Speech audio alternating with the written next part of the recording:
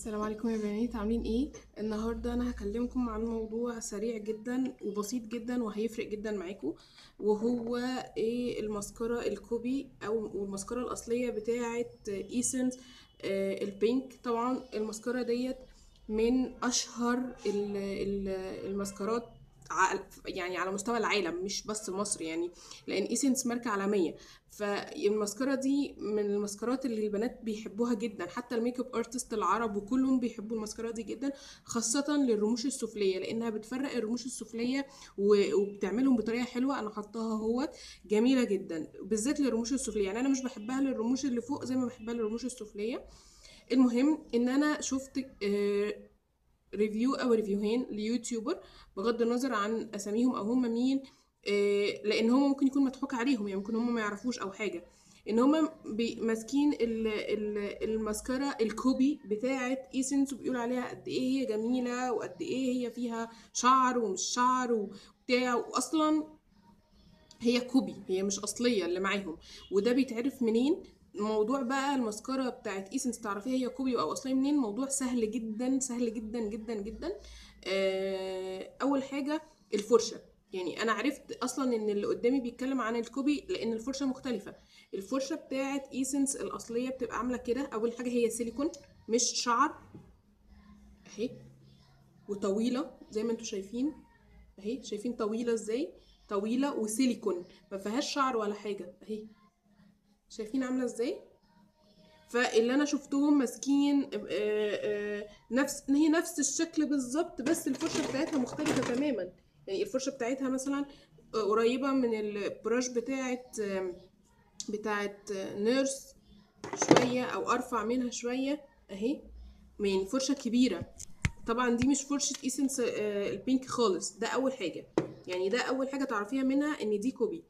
تاني حاجة آه، Essence الأصلية ما بتجيش مغلفة. يعني أصلا انت لما بتروح تشتري أي مسكرة من Essence أي مسكرة من Essence Essence المسكرة بتاعتها ما بتكونش مغلفة بتشتريها كده زي ما هي.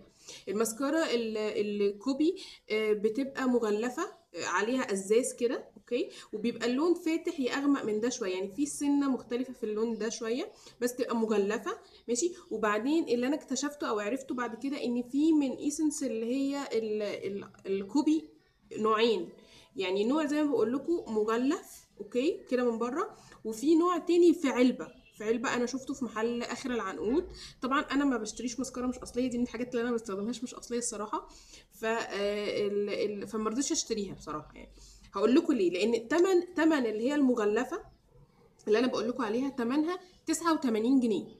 آه sorry 79 جنيه أو 75 جنيه حاجة كده يعني حاجة و70 جنيه. طب ما هي الأصلية يا جماعة؟ الأصلية هي بتتباع على النت ب 110 أو 120 وأنا جايباها من محل So Much ب 90 جنيه. ما فرقتش أت... يعني ما فرقتش ال- ال- المبلغ اللي بينهم بسيط قوي.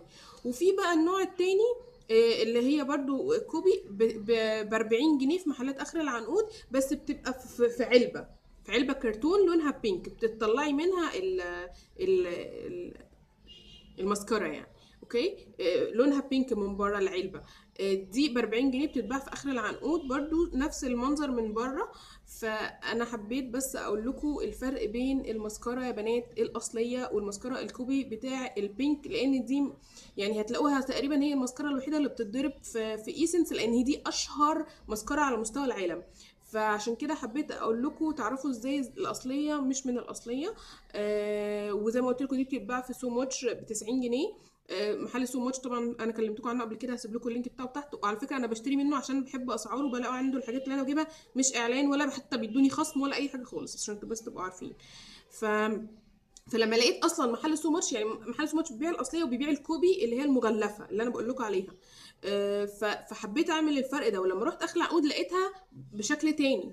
يعني عشان بس الناس اللي بتقول أصل ال copy ما فيهوش درجات وال copy هو copy يعني copy لا ال copy فعلا فيه درجات يا بنات ال copy فيه درجات أهو بالدليل أهو إن الشكل مختلف والسعر مختلف وكل حاجة مختلفة. فيا ريت تخلي بالكم إن ما يضحكش عليكم انت لو عايز تشتري ال copy انت تروحي تشتريها بمزاجك لكن ما يضحكش عليكي فيها. فاهمين قصدي إيه؟ فحبيت أقول لكم الفرق. يا رب تكونوا استفدتوا يا رب يكون الفيديو أفادكم بأي حاجة. وأشوفكم إن شاء الله بإذن الله في فيديو جاي إن شاء الله بإذن الله قريب. باي باي.